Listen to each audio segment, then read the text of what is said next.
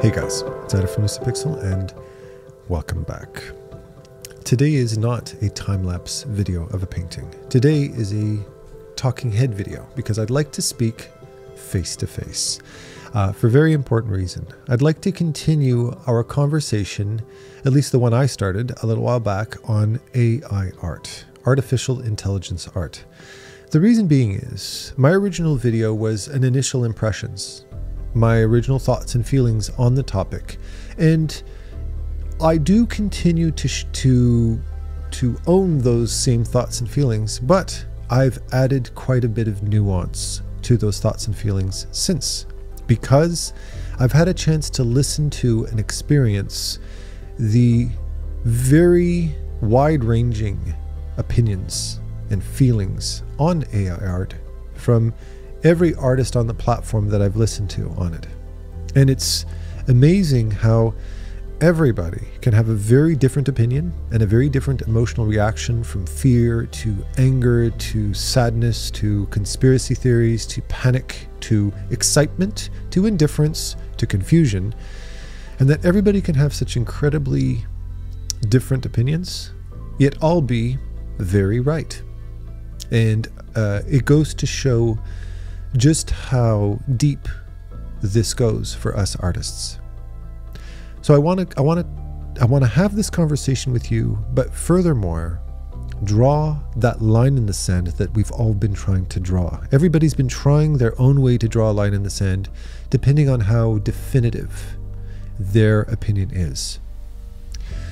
And it's actually a line in the sand that my friend Hardy Fowler, fellow YouTuber, who we did a podcast about this uh, just a couple of weeks ago, which you, I recommend you watch that before watching this.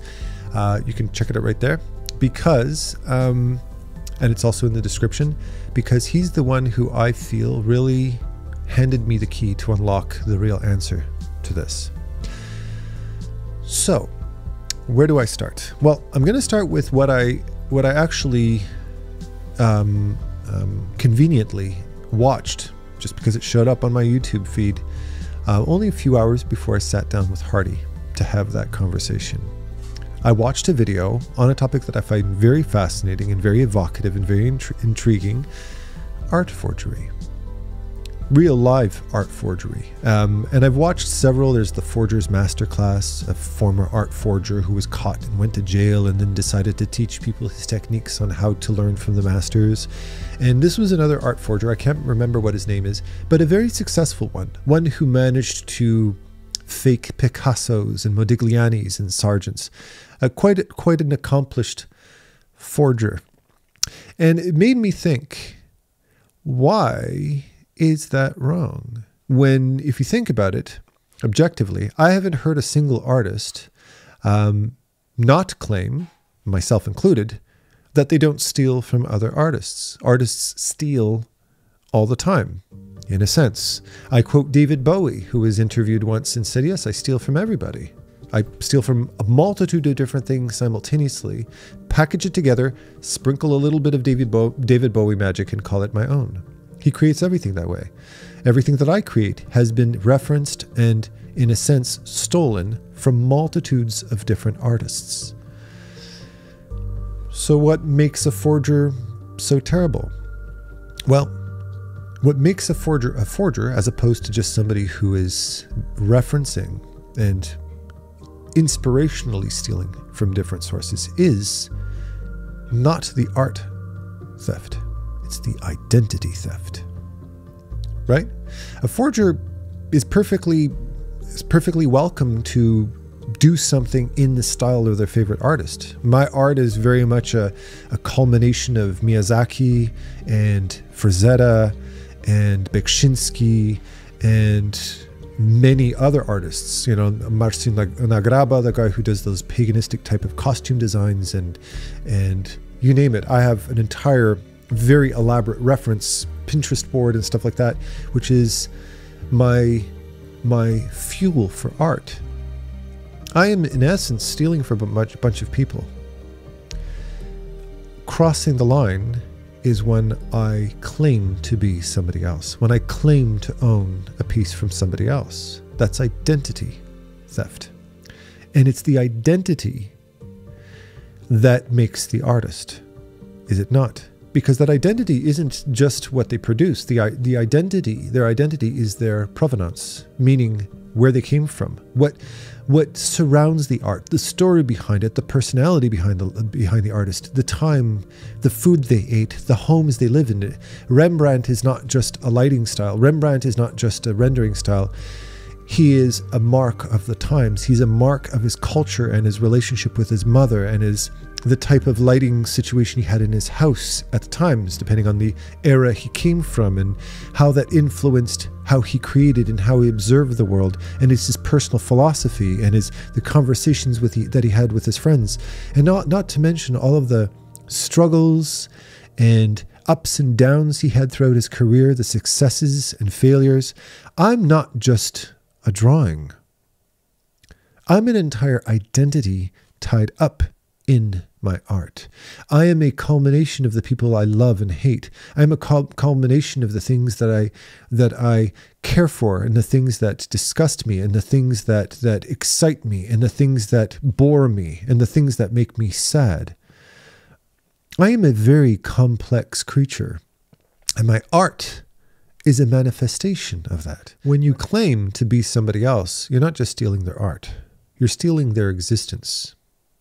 In fact, I would argue that you're stealing the, the, the very thing that I would argue and that I, I talk to my students about is the most important thing to myself, to them, and every other human being on this planet. Yes, that's a very big claim. And I ask this question of my students I say, What is the most important thing in the world to you and to me and to every other person on this planet? You're not sure? It's humanity. Humanity is the most important thing to you and I. Ask yourself the question why are we so intrigued by The Walking Dead? Why are we so fascinated with the pyramids of Egypt? Why are we so why are we why do we hold such sentimental value? Some why do we value antiques? Family heirlooms?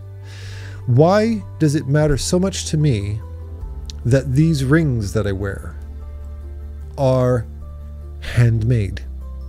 Why do I pay for that? Why do I value that fact? Because it's not something that was made by a machine.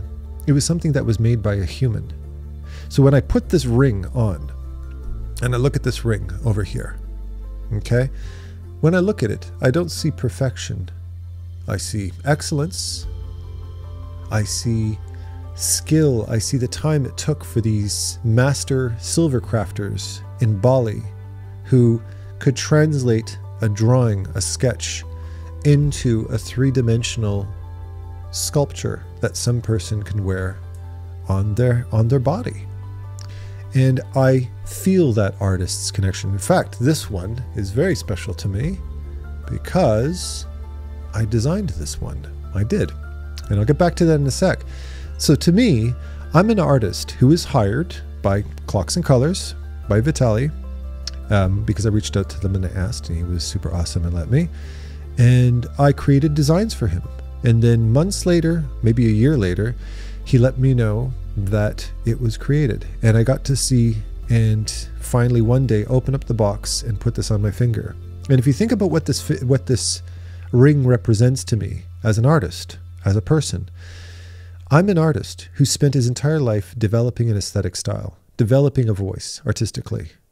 I recognized a kindred spirit in terms of an artistic aesthetic in Clocks and Colours, in Vitaly, in Etah Love, in these companies that produce this, this jewelry, and reached out to him and said, Could I do a design for you? I really, I really click with your aesthetic style. And he looked at my work and he said, Yeah, I see that.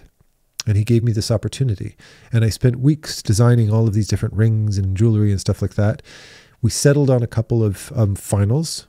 And then months later, he sent this design to somebody in Bali on the other side of the planet, excuse me, in India, and who sat down and crafted a mold and filled it with silver and sculpted it and added all of the fine details to it and then polished it up with his polishing cloth, put it into a box, sent it back to Canada, and then they shipped it off to me from Ontario. I'm in Montreal, and I open up the box, and there it is. There's this creation. Okay? And I looked at it and I didn't see something that I put a quarter into a machine, cranked the handle, out popped, up popped some ring. No. To me, this is a human experience. This is a memory. There is a human connection in this thing that I have created.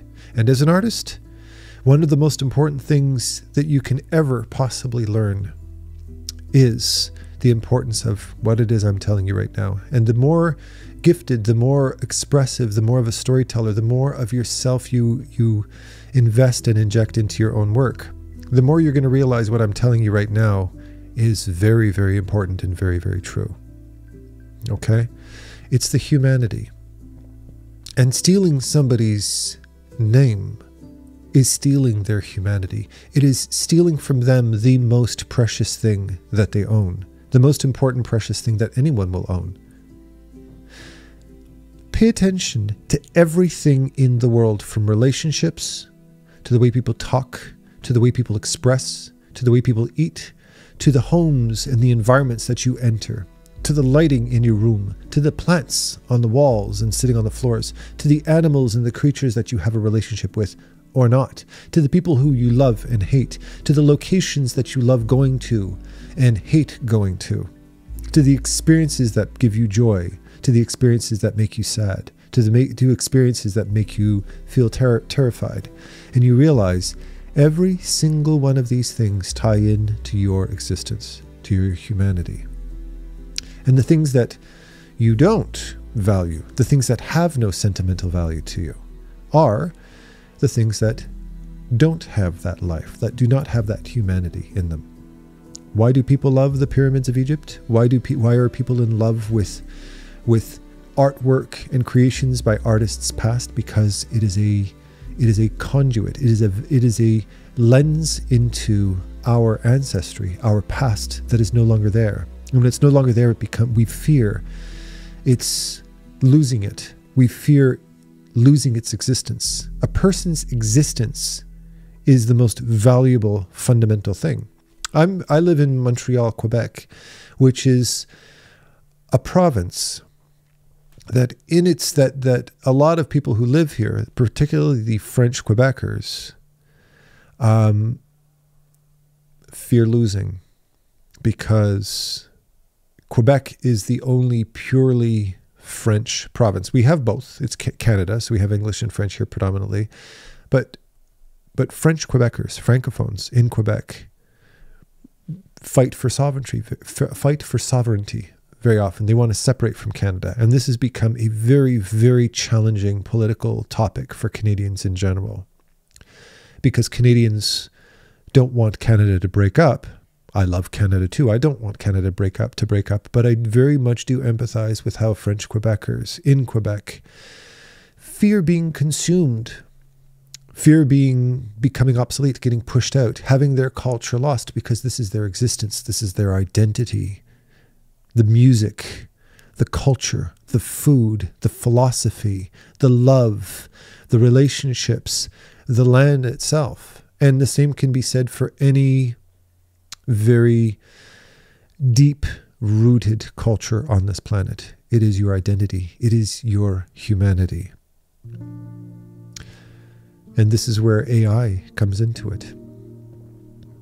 When you steal somebody's identity, if you claim, like what the point that Hardy had made with me was he said, one of the things that really kind of tipped the scales for me was when um, somebody just punched in Hardy Fowler style art and had actually programmed Hardy's aesthetic, Hardy's um, very long earned skills into this algorithm, and it pumped out something that could possibly be made by him right and he was he said i'm sure if you put more work into it they would probably be able to do a better job but something felt wrong about that, he said. He couldn't quite put his finger on it, but it just it crossed a line for him.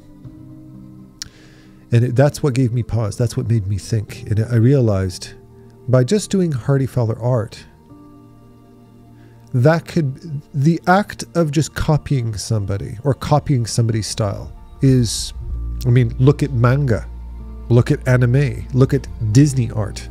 That's literally copying Disney. That's literally copying every other anime artist out there. That's why 99% of my students always have anime, manga, manga portfolios. Do I call them all thieves? No. They're inspired by a very specific niche style of art. There's nothing wrong with that. But if my student said to me, Oh, yeah, I did that. That's my art. And I said, Yeah, but I can tell that's Bobby Chiu's painting. I've seen it.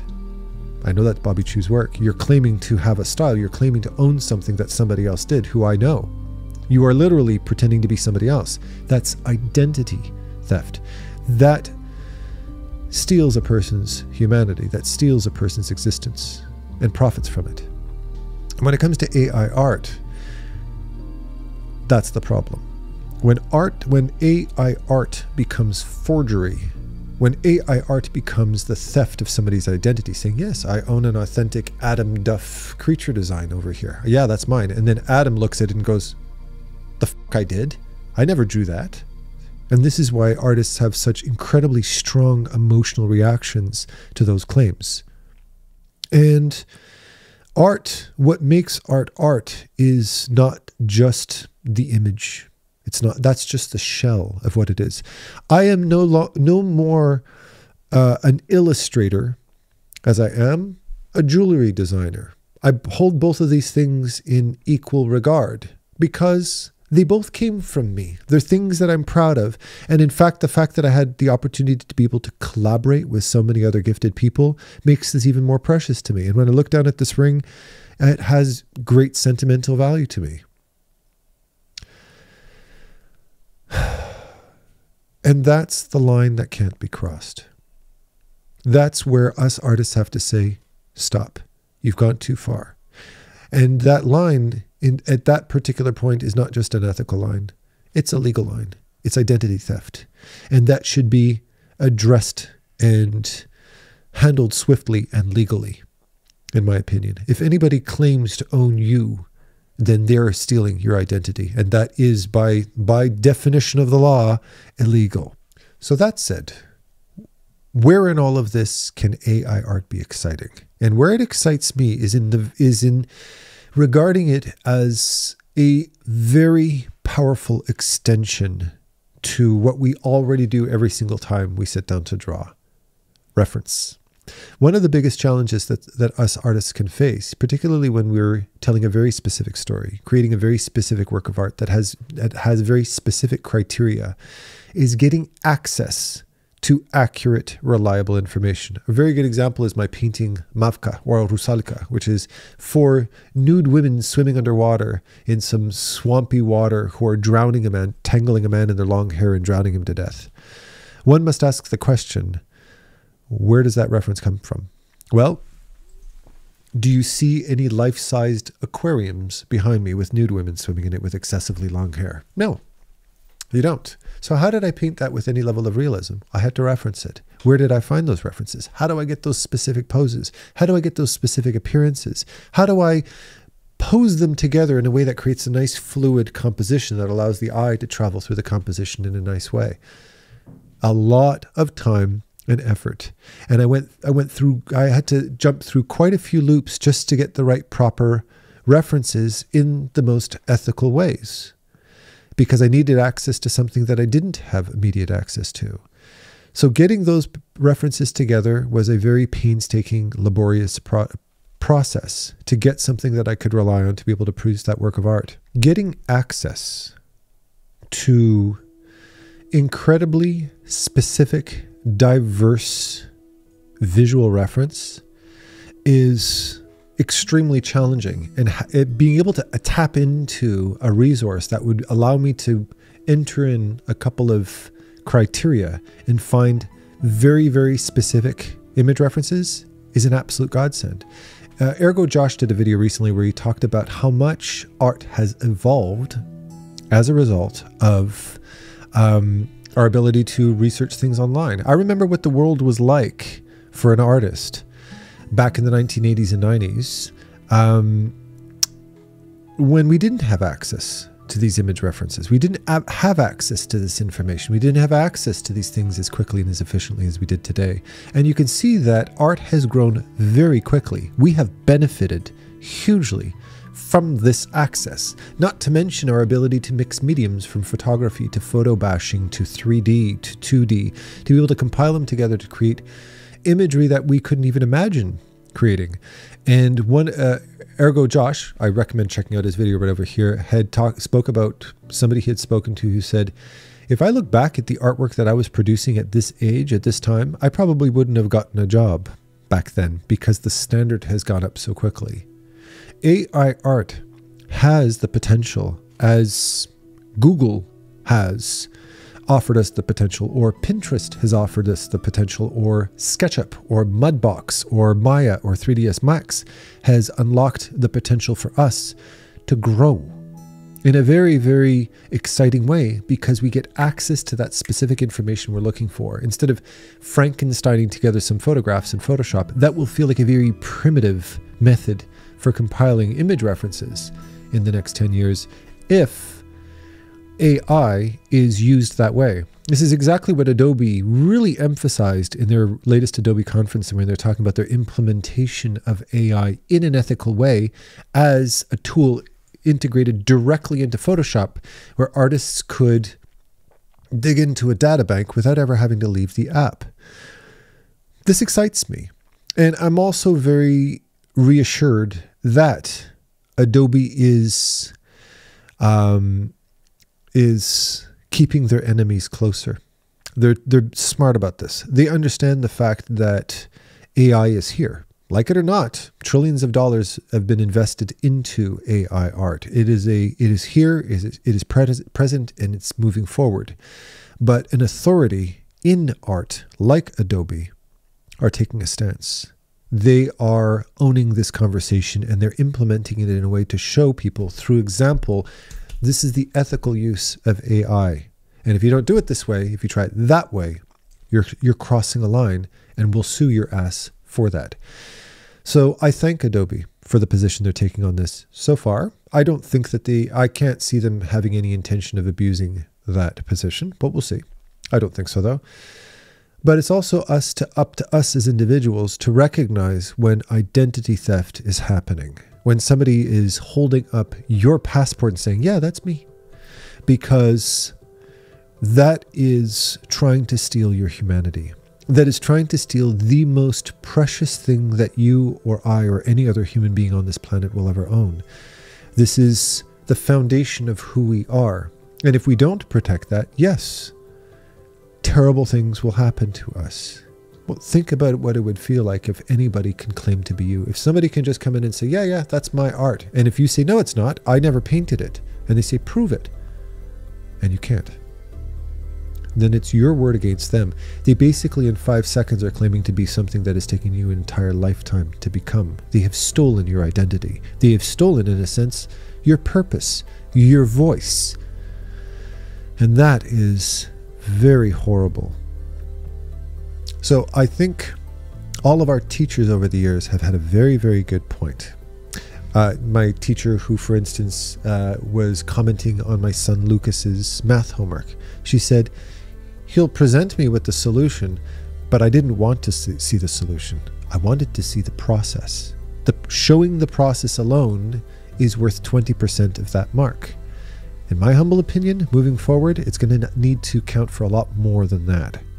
In my opinion, what we're going to start seeing moving forward is that our process, your process, my process, the YouTube videos you watch where you can see the time lapse video of my painting and where I start things over and where that painting evolves and where my thought process changes and where I start to start to gather further references and watch videos by other artists because my technique is a little bit weaker here or there and where I reference other people and talk about different people and the relationships that I feel I've created with other artists who I've never met in my entire life because they influence me, because they've left a lasting impact on me as an artist and as an individual, that is going to count for 95% of the process.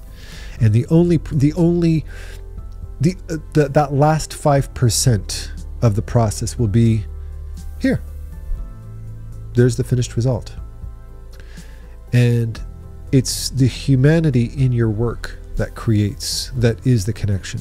This tattoo, these tattoos on my arms.